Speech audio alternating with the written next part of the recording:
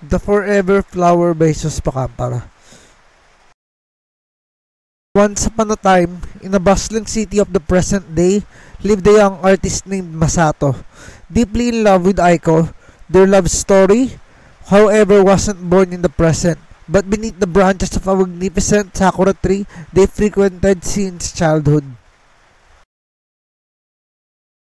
Every spring, the tree's delicate blossoms would burst forth, mirroring the blossoming of their love. Masato, a skilled judoka and a kendo practitioner, found both solace in the discipline of martial arts, but his heart truly soared when he was with Aiko. Her laughter, the sweetest melody, her smile the most radiant sunrise. They were inseparable, confidants and lovers, their dreams whispered beneath the familiar sakura canopy. One day while browsing in an antique shop, their curious fingers brushed an ornate mirror, its frame intricately carved with dragons and cherry blossoms. A warmth pulsed beneath their fingertips, and they found themselves staring not at a reflection, but into a swirling vortex of colors and light.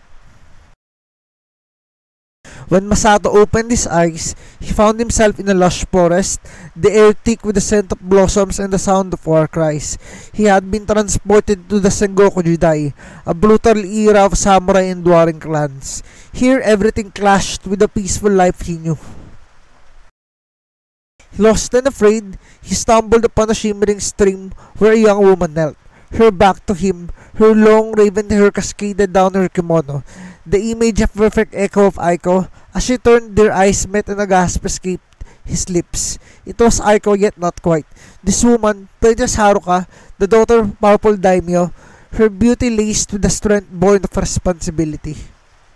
Masato learned that his mirror, an heirloom passed down to Haruka's family, held the power to transport travelers across time.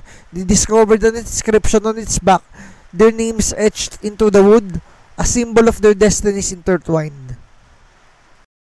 Despite the danger, a bond blossomed between them. Masato's skills in judo and kendo proved invaluable, earning him a place as a returner in Haruka's household.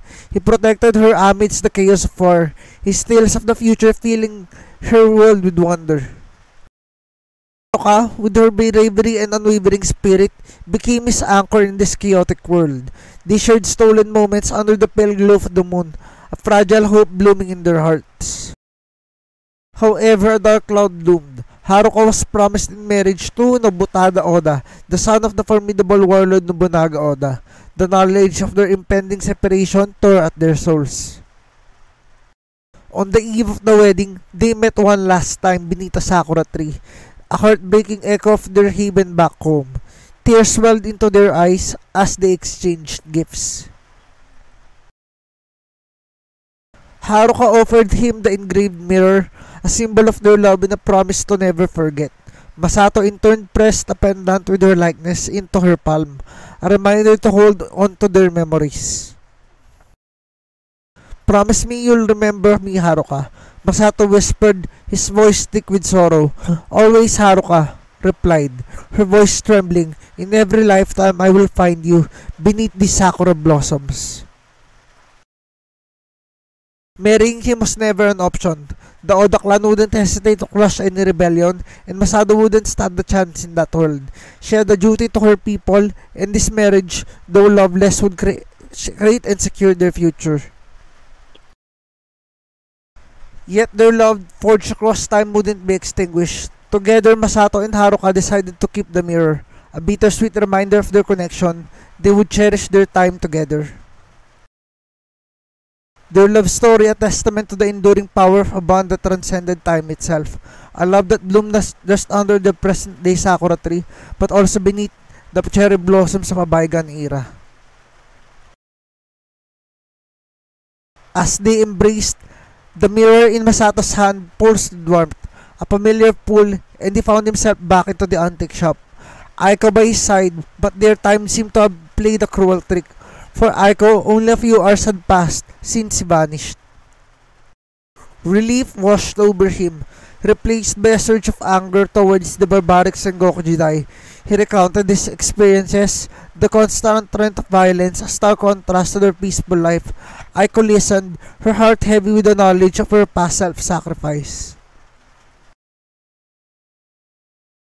Years passed and their love deepened. Every spring beneath the familiar sakura tree, Masato would kneel before Aiko, not with a ring this time but with a single, perfect blossom. Forget me not, he'd whisper, his eyes reflecting the love that had spanned lifetimes. And Aiko, with a tear glistening on her cheek, would reply, Never, Masato, not in this lifetime, nor, nor in any lifetime to come. She'd tuck the blossom behind her ear, a silent promise blooming alongside the delicate flower. One spring, as they sat beneath the tree, a soft melody drifted on the breeze. It was a song they both knew, a tune they'd first listened to do as they danced when they were children, their clumsy steps mirroring the blossoming of their young hearts. melancholic smile touched Aiko's lips. Remember that night, Masato, when we tripped over our own feet, laughing. Masato chuckled. The memory warm and familiar, and you blamed my clumsy toes. And you blamed my over-enthusiastic twirling, I countered playfully. A comfortable silence settled between them, filled only by the rustling leaves and the gentle chirping of birds. Masato reached for her hand, his fingers tracing the familiar lines etched on their palm. Haruka, he murmured a single tear tracing a path down his cheek. Aiko squeezed her hand, her eyes filled with understanding. She loved you deeply, Aiko whispered, her voice thick with emotion. And you, her. Masato nodded, his throat tight. But it's you I love now, Aiko. With your laughter that chases away my shadows and your smile that brightens my day like the sun. Aiko's heart ached for the love that Masato had lost. Yet it swelled with the love he held for her in this moment. And you, Masato, with unwavering strength and a heart filled with kindness, you are that anchor that keeps me grounded.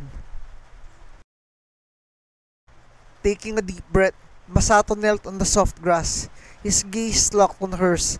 Aiko, my love, he began, his voice thick with emotion.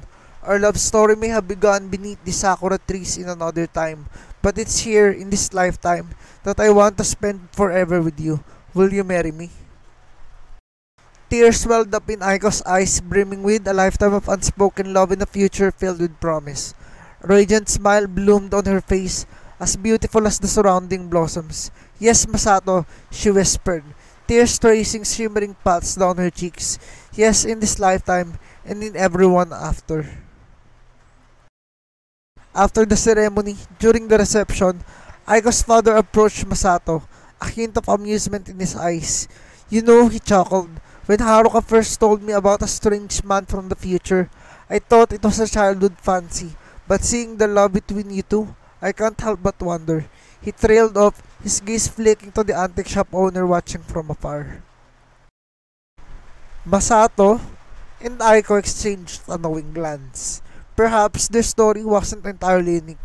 Perhaps the mirror held countless tales of love transcending time, whispered on the wind beneath blooming sakura trees.